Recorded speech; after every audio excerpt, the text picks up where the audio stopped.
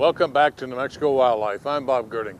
The cutthroat trout was bordering on being wiped out of existence until the New Mexico Department of Game and Fish made a concentrated effort to raise a pure line of them in one of their hatcheries.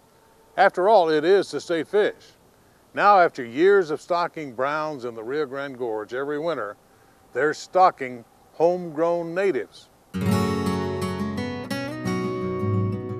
Rio Grande cutthroat trout. That's what's wriggling in these nets. These fish were once native to the Rio Grande. Not anymore. No one has caught a cutthroat trout in these waters since Eisenhower was president.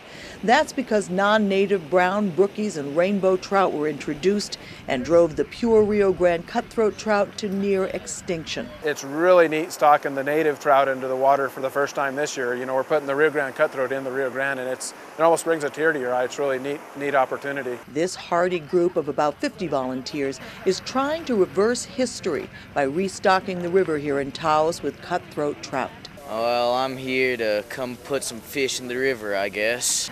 Gabe Lefthand is here with other students from Vista Grande High School, which provides its students with hands-on wilderness experience. What I'm hoping is they uh, gain more appreciation for the environment, the importance of their role as environmental stewards in the future, and have a good time and help out. One thing that's kind of neat that Vista Grande does is they connect kids with mentors. Every student has to intern with somebody in the community. So I actually have two of their students, uh, Rowan Bateman and Gabe Lefthand, who are interning with Rivers and Birds. I've been working with Rivers and Birds since I was eight, and Roberta told me about this um, releasing native fish back into the river and I thought that would be really cool to come here and help. It's really exciting that um, instead of bringing in these other species that we could restock the ones that belong here.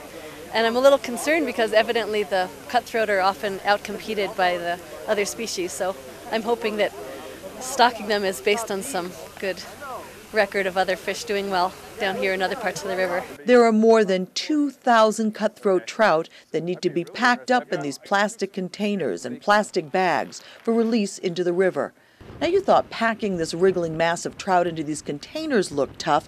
That's nothing compared to the trek this army of volunteers is about to embark on to get the Rio Grande cutthroat trout back into their native waters. The access is really tough. You have to, it's kind of a gorge, almost like a mini Grand Canyon area. So in order to get the fish down here, we can't drive them down here. So we actually use the volunteers as slave labor and pack the fish in on their backs and, and pack them to release them into the water.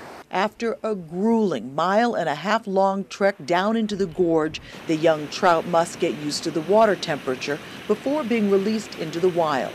Volunteers include folks from government agencies, the Forest Service, high school students, Trout Unlimited. We also get a variety of just local anglers that, that love the river and, and come to help us stock the fish in. Like Chris Inouye, an avid fly fisherman who loved the idea of reverse fishing. See, this isn't just catch and release, it's release and hopefully catch someday. I enjoy the fishery so much, I figure like I, I have to contribute something back uh, I don't take many fish out of here, but I always wanted to see them in, in here for future fishermen. Just one more way sportsmen and women like Chris pay to play. Sportsman dollars fund this program uh, through license sales and through through excise tax on you know fishing rods and fishing poles through the Sport Fish Restoration Act, um, which is federal dollar or federal aid dollars. Um, so this is all sportsmen have funded all of this program and be able to stock the fish wouldn't be done without sportsman's dollars. And if this investment in the future of the native trout pays off, the reward will be tangible, beautiful 18 to 24 inch cutthroat trout on the other end of the line.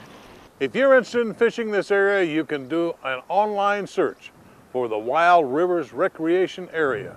Our crew descended from La Junta Point, which is a steep mile and a half trek down to the confluence of the Red River and the Rio Grande.